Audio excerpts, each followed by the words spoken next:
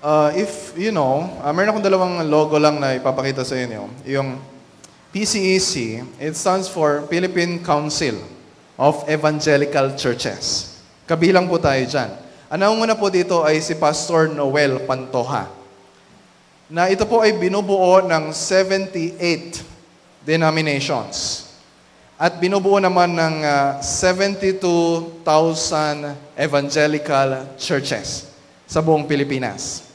And merong vision, yung PCAC, na yung 72,000 na yon by 2020 ay maging 120,000 na evangelical churches.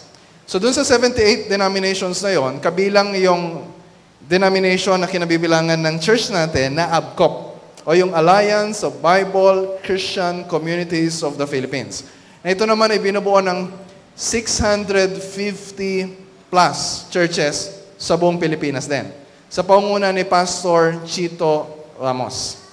And bilang contribution sa vision ng PCSC, ang um, prayer ng ABCOP ay makapag-plant ng additional 500 churches by 2020. So, yung ABCOP po, binubuo naman ng uh, iba't ibang distrito. Siguro mahigit 20 distrito sa buong Pilipinas. Yung distrito na kinabibilangan natin ay yung PNB. Ito po ang pinakamayamang distrito uh, ng ABCOP, ang Pampanga, Nueva Ecija, Bulacan District.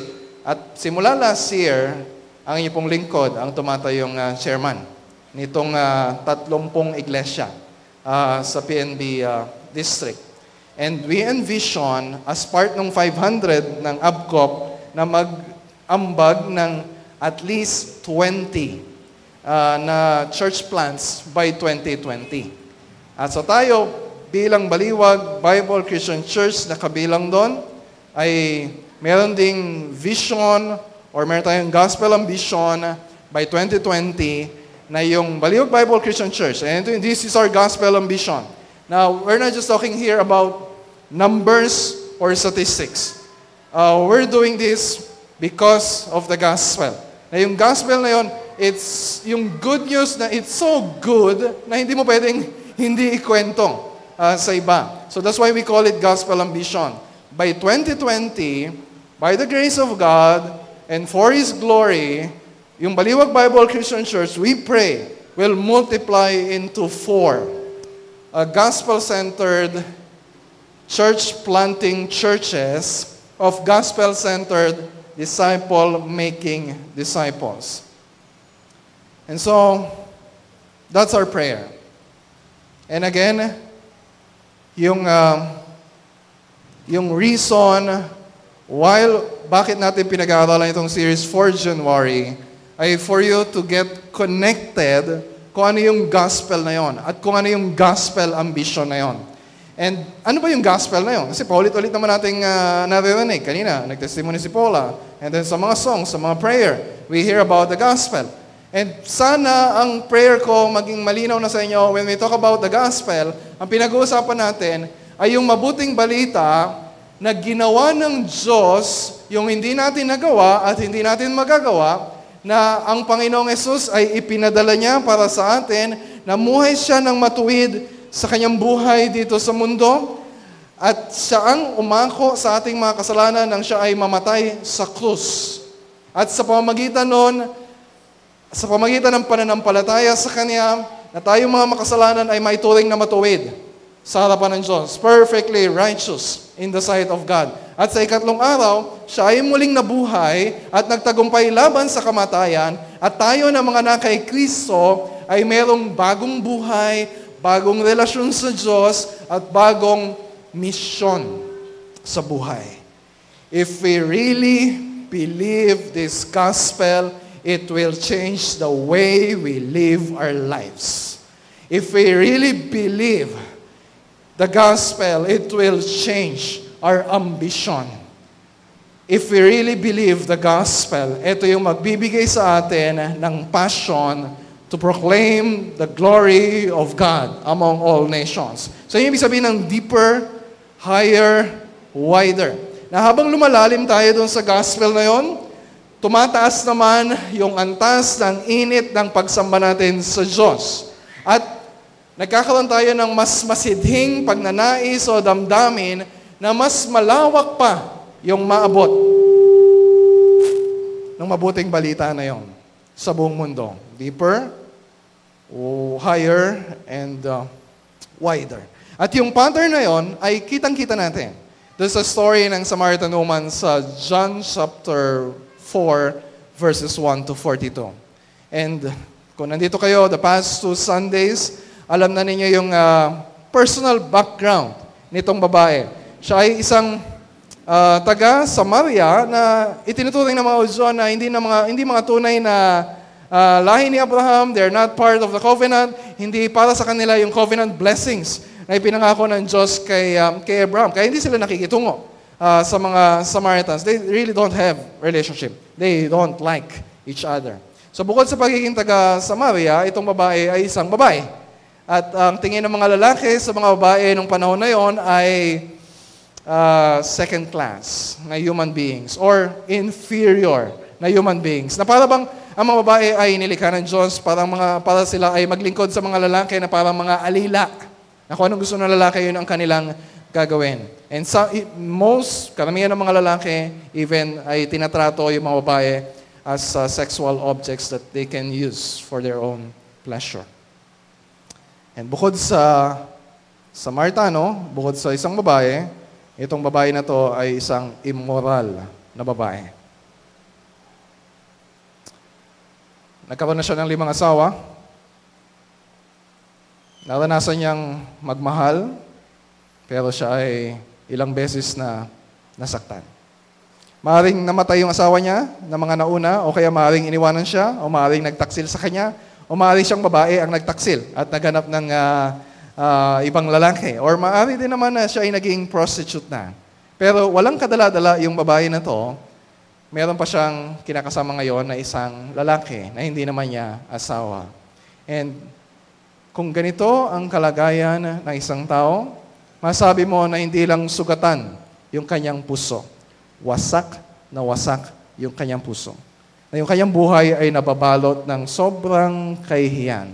And partly, maybe, yun yung reason bakit tanghaling tapat siya nagigib uh, ng tubig. Pero, nakatagpo niya ang Panginoong Jesus. And this is not a chance encounter.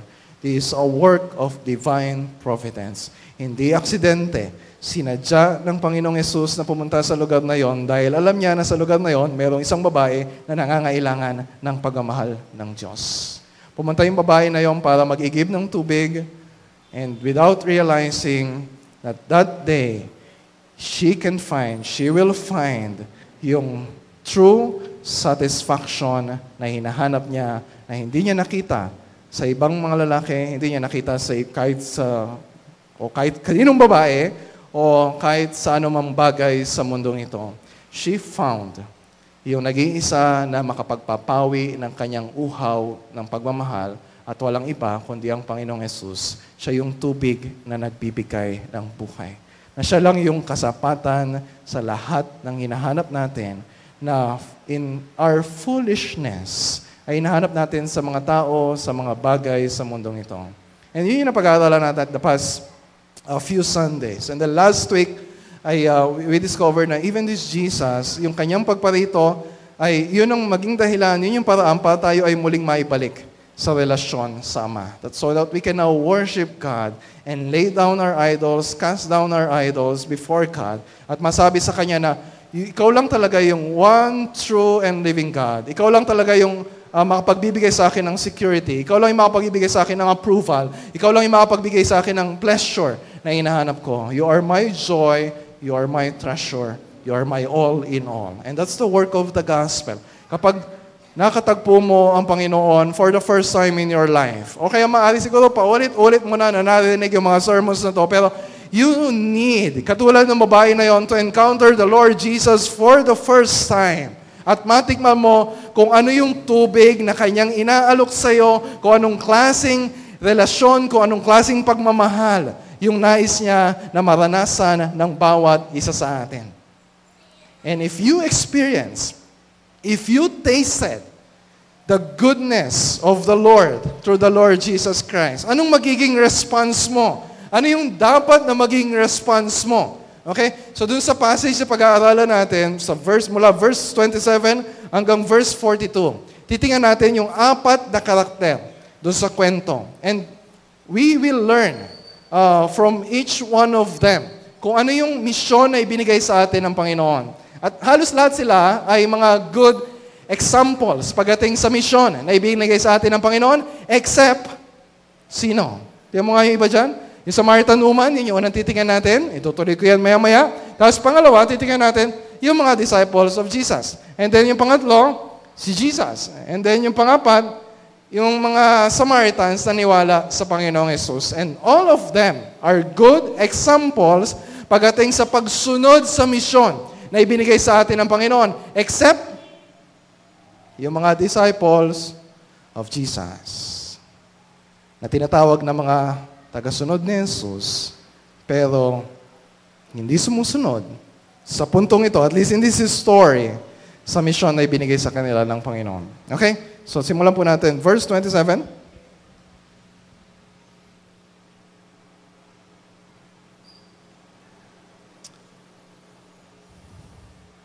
Okay, unahin natin verse 28. Verse 28. Laktawan muna natin yung verse 27.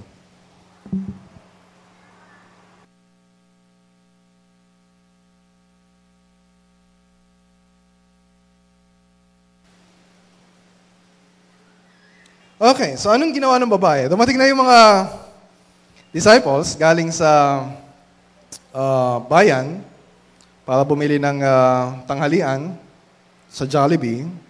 At pagbalik nila, dala-dala yung lunch na pagsasaluhan nila, uh, yung babae naman ay dali-dali naman ano. Anong ginawa niya? Iniwan yung kanyang dala na water jar at pumunta doon sa bayan, ang sinabi sa mga tao doon,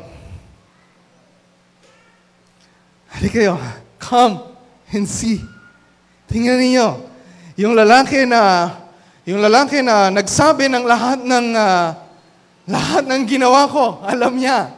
Ito na kaya ang Kristo na pinakahintay natin. Nagtanong yung babae, could this be the Christ? Hindi dahil hindi siya naniniwala sa Panginoong Yesus bilang Kristo o tagapagligtas. I believe yung question na yon is a question of faith.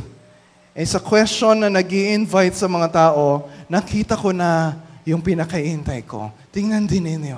Puntahan din ninyo. And investigate for yourselves para makita ninyo na siya ay, siya talaga yon, siya talaga ay totoo. And then, Kung titingnan ninyo mabuti, yung babae na to pumunta doon sa balon para mag-igim. Pero umalis siya doon, na-satisfied, iniwan na nga niya yung daladala niyang water jar na hindi na siya taga-igib ng tubig, tagadala na siya ng tubig ng mabuting balita para sa para sa ibang tao. Hindi niya inintay na hindi niya inintay na ay, ayusin ko muna ang buhay ko. Ay, uh, kailangan uh, maganda muna yung reputasyon ko sa mga tao.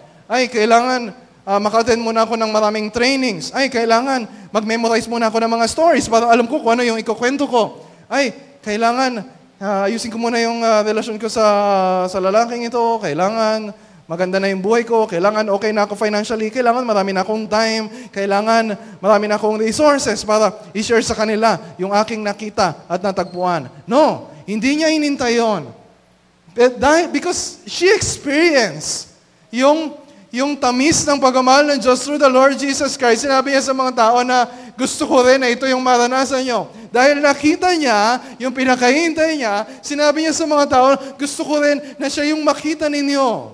And that's the work of the gospel sa heart natin. Na if we really tasted the love of God, wala na tayong excuses na gagawin to share the gospel. Because na-experience natin yun. Maari yung dahilan, bakit hindi natin binubuka yung bibig natin at ikinukwento yung mabuting balita sa iba? Ang isang dahilan, baka bakit hindi lumalabas yung good news uh, sa bibig natin ay dahil yung good news sa yon ay baka hindi pa nakakapasok sa puso natin. Pero ang ginagawa siya ng Panginoon dito, through the, yung nangyari dun sa babae, kapag ang gospel ay pumasok sa puso mo, hindi pwedeng hindi lumabas. Sabi ni Scotty Smith, the gospel runs to us, or the, the gospel comes to us that it might run through us.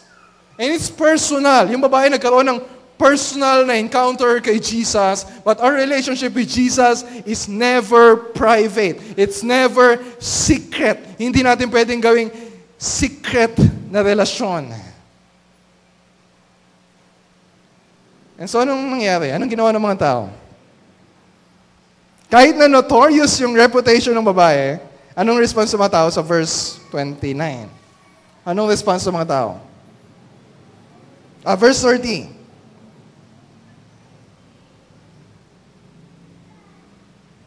Anong response ng mga tao? Sabi ng mga tao, Huh, kayo maniwala dyan.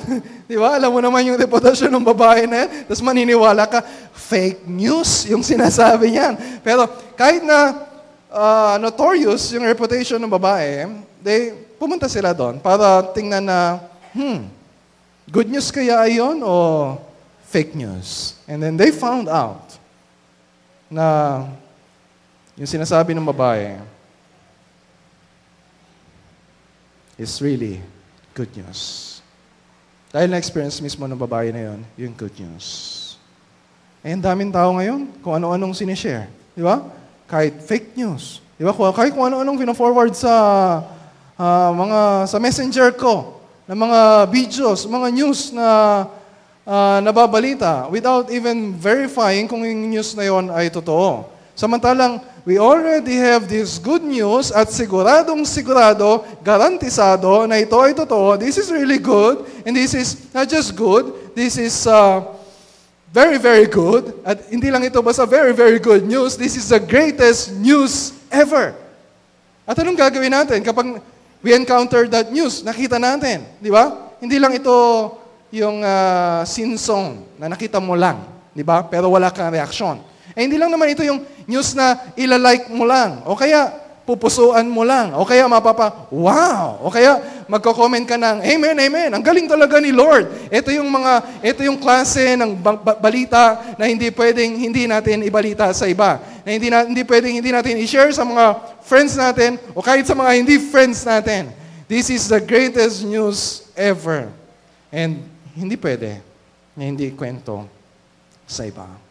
And maaaring isang reason why we find it so hard to speak the gospel ay hindi dahil bata pa kayo, hindi dahil wala kayo masyadong training, hindi dahil, hindi man ako katulad ni Pastor, hindi man ako ganun magsalita. O, I believe na the gospel has not yet penetrated deep enough sa heart natin. That's why we keep repeating and repeating yung gospel na yon every time we gather for worship. Dapat makilala natin si Jesus. Dapat turuan tayo ni Jesus kung ano ibig sabihin ng gospel na yun. And we are like itong mga disciples ng Panginoong Jesus. Yung bang, yung babae, alam niya na this is the gospel for all, kailangan sabihin. Pero itong mga disciples niya, hirap na hirap na tanggapin sa puso nila, katulad din natin, na yung good news na ito ay good news para sa lahat. Katulad sabi ni Paula kanina, this is not just good news for me. This is not just good news for us. This is good news for all. E anong reaction nitong mga disciples? O, balikan natin yung verse 27. Ano yung reaction nila? Verse 27, nakita nila si Jesus na may kausap na isang babae, tapos They marveled. They wondered.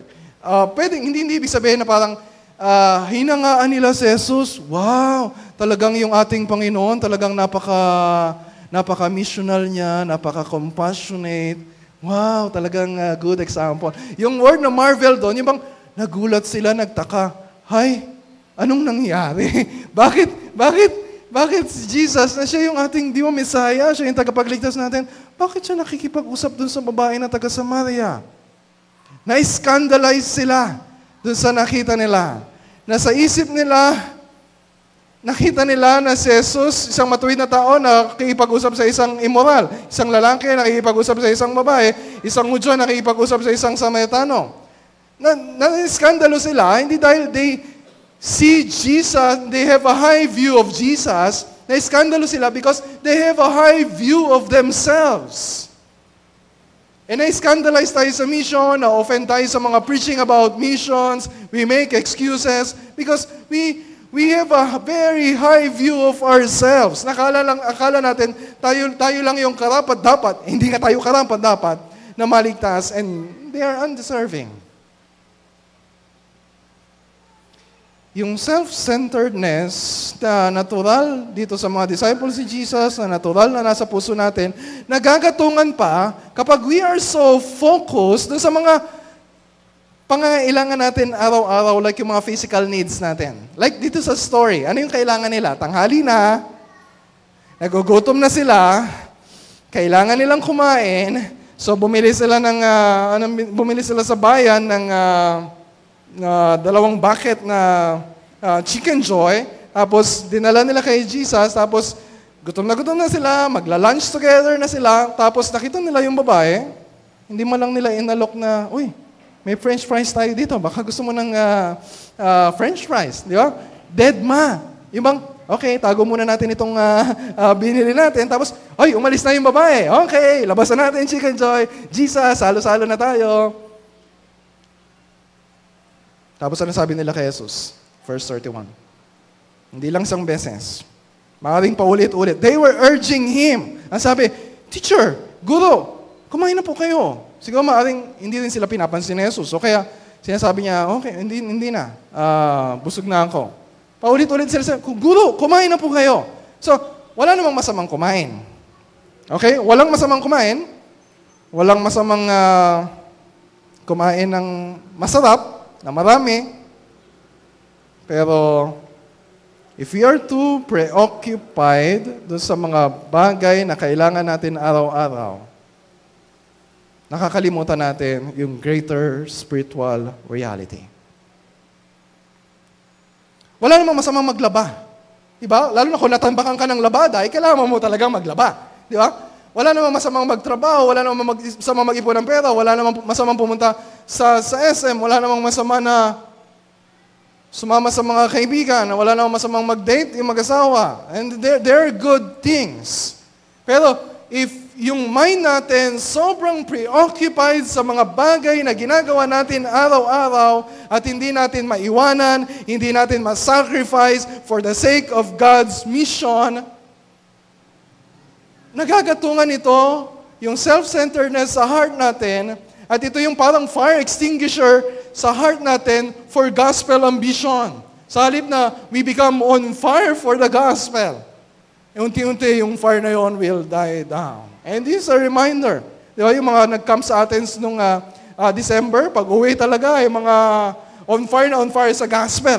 Di ba, meron pa nga akong uh, isang kasamang pastor na yung mga youth niya pumunta dun sa, sa youth camp. Tapos ay, Pastor Derek, ito mga youth namin, pagdating sa akin, pinipreach sa akin yung gospel. Okay?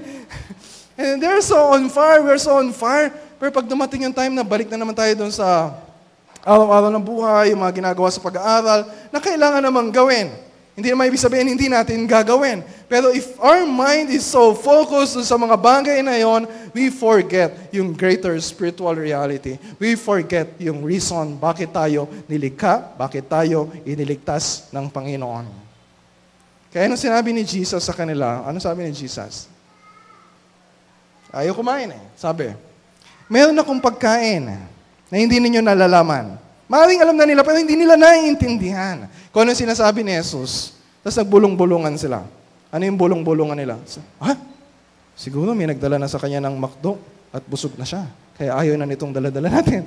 Okay, so, yung bang, gusto silang turuan ni Jesus ng mga spiritual na bagay, yung may kinalaman sa misyon ng pagparito ni Jesus, pero ang isip nila ay nandun pa rin sa kakainin nila. Di ba? Hilong-hilo na sila kasi sa gutom. Okay? And we are here, we're always talking about the gospel, we're talking about worshiping God, we're talking about mission, And probably, many of you are still thinking. Kaya kayo narito para, ah, kasi ang dami kong problema sa buhay. Siguro dito ko matatagpuan para mawala yung mga problema ko sa buhay, mga may sakit, para gumaling. Yung pinagpe-pray ko hanggang ngayon para tugunin ng Panginoon. Yung mga babayaran kong bill, siguro ibibigay ni Lord yung answer niya sa prayer ko. And God is teaching us things na far greater dun sa pangangailangan natin araw-araw. Hindi ko sinasabi na hindi na natin iintindihin yung mga pangangailangan natin sa araw-araw. Tapos pag merong lalaki na lalapit sa akin na, Pasto, dahil sa preaching mo, yung asawa ko, tambak na yung labada kasi lagi siyang lumalabas at nagsishare ng story of God. Okay? At kapag ginawa niyo yun, nagsumbong kayo sa akin, ang sasabihin ko sa inyo, laban ninyo. Yung natambak na labada. Okay, so, I'm aware sa kailangan natin gawin araw-araw. But as your pastor, we are here to unite everyone na makita natin that we have this mission of sharing the gospel to all. Kailangan ipaalala to sa atin over and over again. Like when we think of yung next character si Jesus, so verse 34 hanggang 38,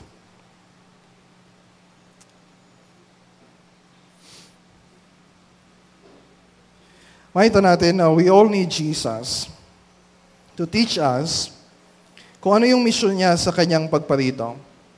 At kung ano rin yung mission na ibinigay niya sa atin bilang mga tagasunod ni Kristo. Verse 34. I just open your Bible. Basahin po natin yon. Verse 34 hanggang verse 38. So, babasahin ko po sa English, pero you just follow along kung meron po kayong Tagalog na Bible. Verse 34. Itong tinuturo ni Jesus sa mga disciples niya, tinuturo niya sa bawat sa atin. Jesus said to them, My food is to do the will of Him who sent me and to accomplish His work. Do you not say there are yet four months, then comes the harvest? Look, I tell you, lift up your eyes and see that the fields are white for harvest. Already the one who reaps is receiving wages and gathering fruit for eternal life, so that the sower and reaper may rejoice together. For here the saying holds true. One sows, eh, one sows and another reaps. I sent you to reap that for which you did not labor. Others have labored, and you have entered into their labor. Meron pong uh, apat na bagay na kailangan nating alalahanin doon sa sinasabi ni Jesus. Dapat nating alalahanin kung ano ang misyon ng pagparito ni Jesus. And that's good news for us. Bakit? Ano sabi niya doon sa verse 34? Ano sabi niya, My food is to do the will of Him who sent me and to accomplish His work. Ano ibig sabihin? Bakit ginamit niya yung my food? Para sa atin, kapag tayo ay uh, tanghaling tapat na. Halimbawa, naging tatlong oras na yung sermon ni Pastor Derek ngayon, tapos alauna na. Tapos naisip mo na yung pagkain. Di ba? So ano naisip mo pag naisip mo yung pagkain? Naisip mo ito yung makapagbibigay sa iyo ng uh, kabusugan. Naisip mo na ikaw ay hinang-hina na, hilong-hilo ka na. Ito yung magbibigay sa iyo ng kalakasan. O kaya may mga time na stress na stress ka na, inis na inis ka na sa mga nangyayari sa buhay mo. Ito yung makapagbibigay sa iyo ng uh, joy and pleasure. Ano sinasabi dito ni Jesus? Meron siyang pagkain na makapagbibigay sa kanya ng kalakasan, kasiglahan, kasiyahan ng higit pa sa mga bagay sa mundong ito. Na even he can forego lunch, kahit na magutom siya, kahit na malipasan siya ng gutom, ay gagawin niya para paglaanan ng oras ang isang babae na kailangang kausapin, kailangang turuan, kailangang ilapit sa Panginoon.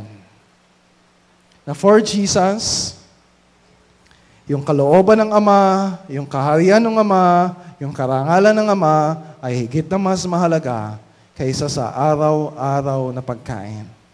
And do you, do you notice yung tinuro niya sa atin sa Lord's Prayer? Di ba? Sinabi niya na, kapag kayo mananalangin, ganitong gawin ninyo. Our Father in heaven, give us this day our daily bread. Di ba? Hindi naman yun ang tinuro niya. Sabi niya, Our Father in heaven, hallowed be your name. Your kingdom come, your will be done. And then, give us this day our daily bread. Merong mga bagay na higit na mahalaga kaysa sa mga pangangailangan nating pisikal o material araw-araw. They are also important. Pero we need to be aware na may mga bagay na higit na mahalaga. At yung higit na mahalaga na yon ay yung higit na makapagbibigay sa atin ng kasiyahan na hinahanap natin. So kailangan nating alalahanin kung anong misyon ni Jesus. So kaya na parito siya, buti na lang.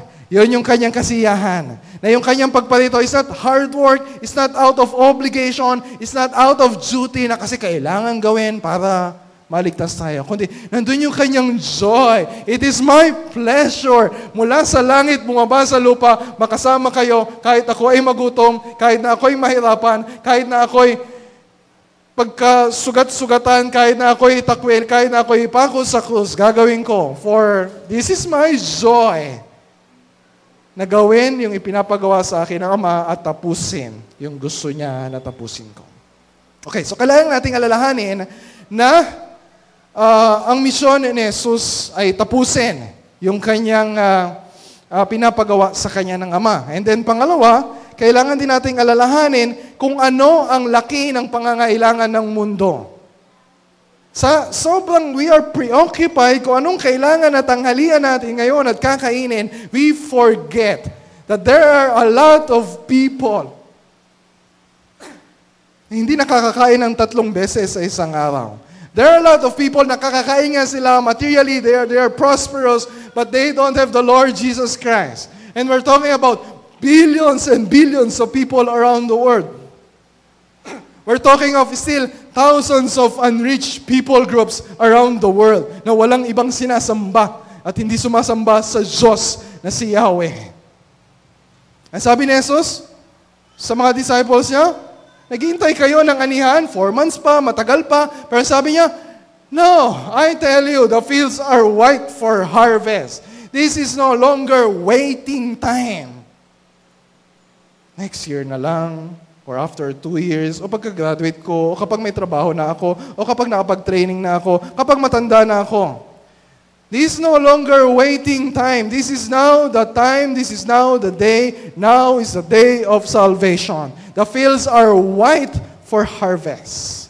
Nakatulad ng babae, hindi niya inisip na, saka na lang, matagal na lang. No, at that very moment, she felt yung joy And na-realize niya na yung nakasatisfy ng pangangailangan niya, kailangan ding marinig ng mga kababayan niya because they are also needy of the gospel.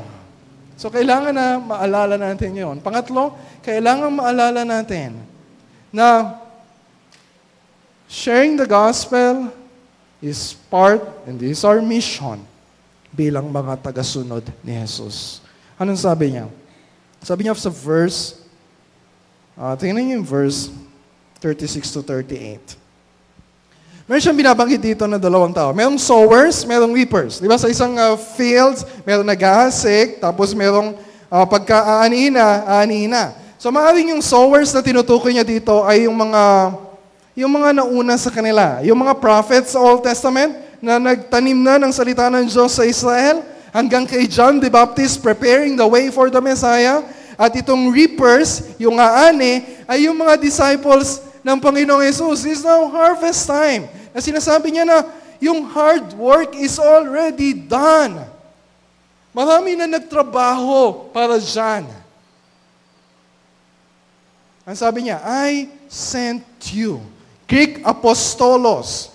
Kayo ay mga sent once ng Panginoong Yesus. We are sent on a mission with the authority of Jesus to proclaim the gospel to all nations.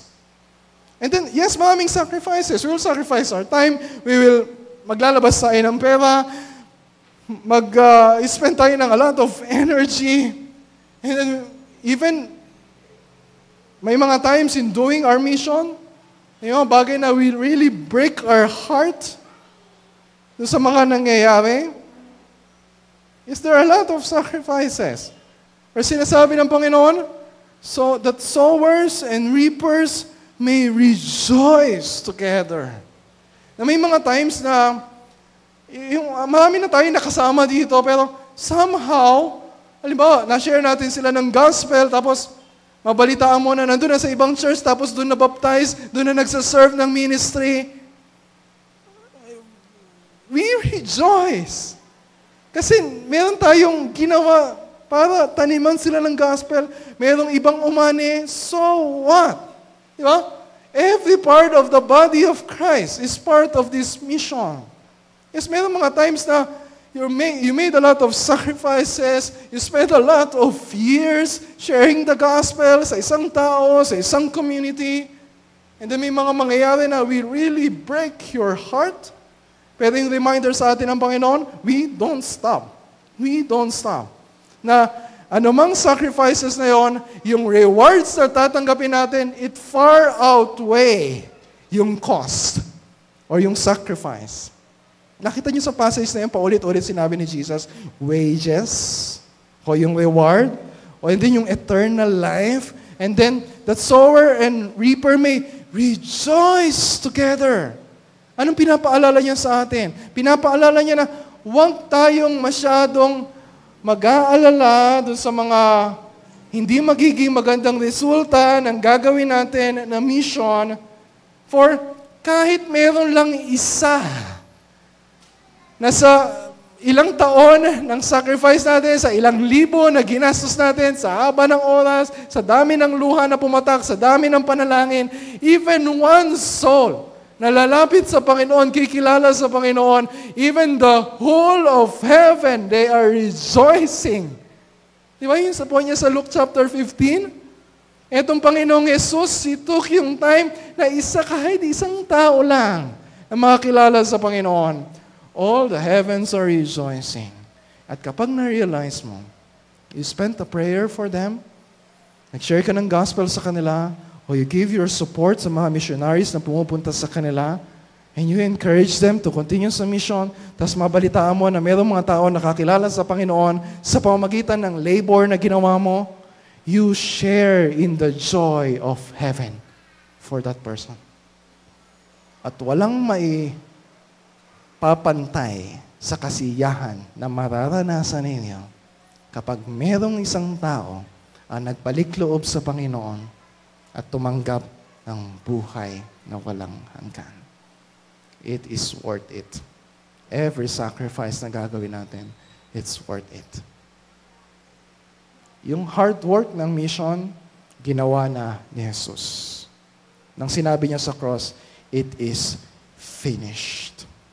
Ang role na lang natin is just to go and tell the good news sa mga tao at sabihin sa kanila na katulad ng babae, come and see para makilala mo din ang Panginoong Jesus. Bakit hindi ka masisiyahan? If you know kung ano nangyari dito sa mga Samaritans, doon sa last part ng story, ano nangyari sa kanila?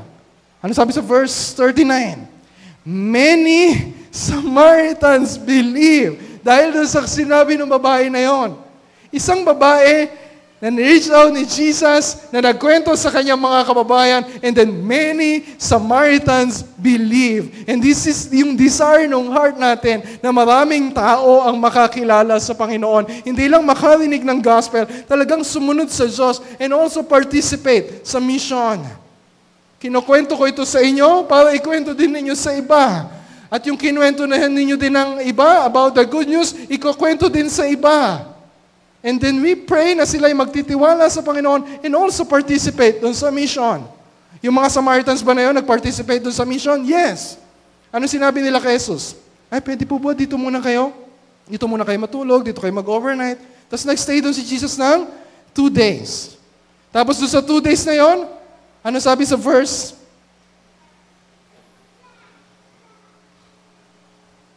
Verse 41. Ano sabi sa verse 41? Nakita niyo yung verse 39? Many Samaritans believe. Tapos pagdating sa verse 41, ano nakalagay doon? Many more Samaritans believe. Nagsimula sa isang babae, and then many Samaritans, and then many more Samaritans believe.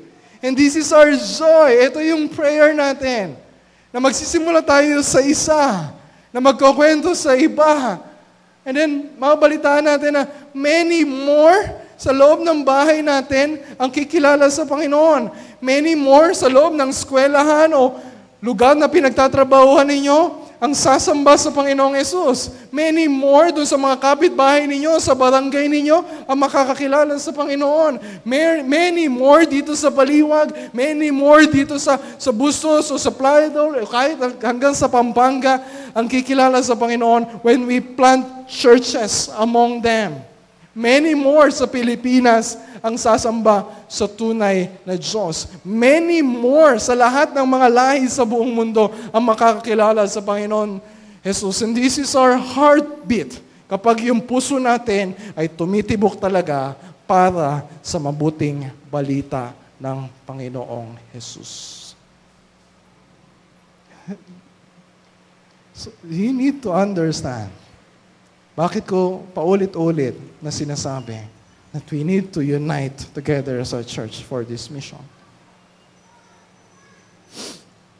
I want you to experience that indescribable joy na nararanasan na ng marami ng mga kasama natin sa church because they are participating in this mission. At huwag kang magtataka kung bakit hindi mo pa rin nararanasan yung kasiyahan, yung kagalakan, to experience the presence and power of the Holy Spirit. Maaaring isang dahilan because you are not participating sa misyon na ibinigay sa atin ng Panginoong Jesus. And as your pastor, sinasabi ko ito sa inyo, tinuturo ko ito sa inyo, I labor week in and week out to preach the gospel sa inyo kasi gusto ko na maranasan ninyo yung ganong klaseng kagalakan. So that pastors, leaders, members, every one of us will rejoice together as we do God's mission.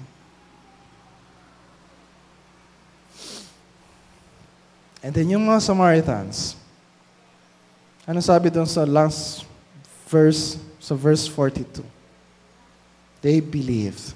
At sinabi nila, we know that this Jesus is the Savior of the world. At yun din yung pinaniniwalaan natin, na si Jesus lang ang tagapagligtas. Nag-iisa lang ang daan patungo sa Ama. And that's Jesus. And there's no other name given among given under heaven, given among men by which we must be saved aside from the name of Jesus. Acts chapter 2 verse 42. Walang pag-asa ang mga tao sa buong mundo maliban kay Kristo. Jesus is the only hope of the world. And siguro iba sa inyo parang, Pastor, I'm so overwhelmed. Ang laki. Parang, you're talking about the whole world. Samantalang parang ang liit-liit ng mundo na ginagalawan natin. Yes, this mission is, is big. And it will take a lot of sacrifices. Pero, we need to start with one. Katulad ng babae. Katulad ng ni Jesus dun sa babae na nagsimula sa isa. And this is my question for you. Now let's spend time in prayer for this. Okay? I will give you mamaya a prayer guide na you can use sa personal na prayer, sa family niyo, or sa grace community niyo. And then, think about this. For this year, sino yung isang tao na ipagpe-pray ninyo?